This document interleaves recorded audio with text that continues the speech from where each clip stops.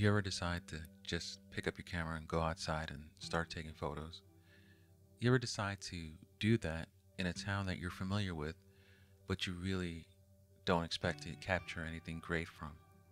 Well, that's what I did this weekend. I took myself over to Hackensack, New Jersey, and I started walking around the streets and just noticed that every day you can capture beauty or something weird or amazing just by picking up your camera and walking out the door.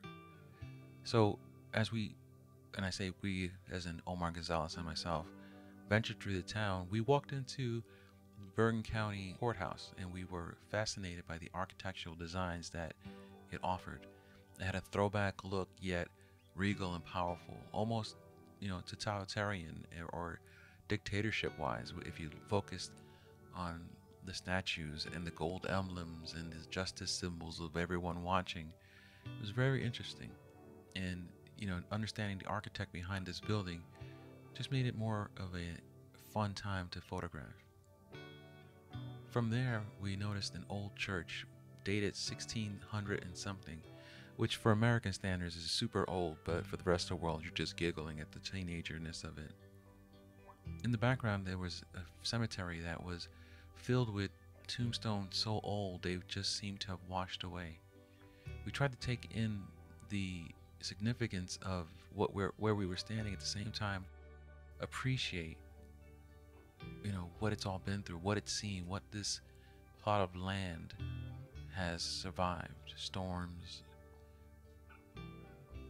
pilfering knuckleheads.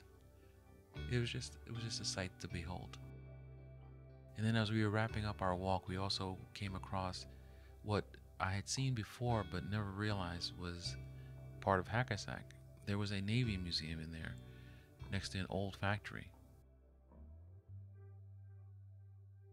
But we ended up finding an old submarine, the USS Ling, part of a World War uh, II detachment from New Jersey. And this is its final resting place. While it doesn't hold the old beauty it used to be, it's still a powerful, amazing sight to behold.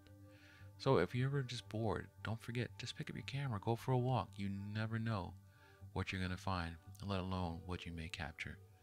Thank you so much. Until next time, this has been Moe Morales. Thank you again.